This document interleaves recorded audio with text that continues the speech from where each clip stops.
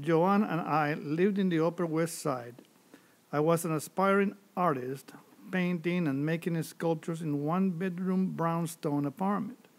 My friend Jonathan got a job as a manager for the new Prince Street Bar in Soho. In May 1976, shortly after the bar and restaurant opened, I was given a one night exhibition. The owner and Jonathan were free spirited and didn't object to any of my work, allowing me to hang my female centric art that some found controversial. Soho was a burgeoning as New York's art center and this was an introduction to my becoming a part of it.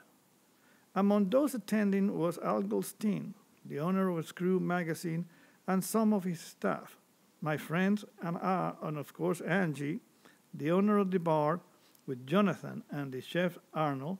Even my ex-wife attended because her then roommate, in a six degree of separation thing, was dating my friend Willie.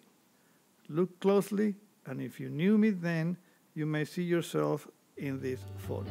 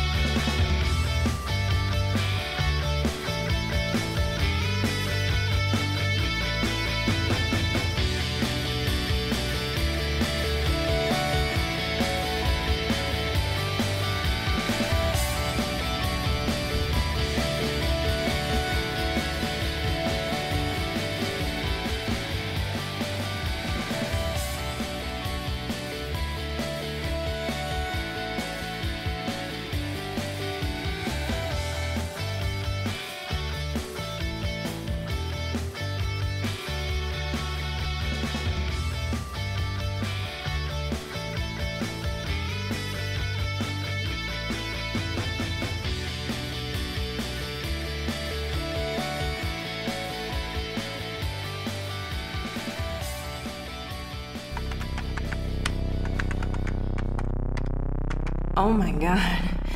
You are the best.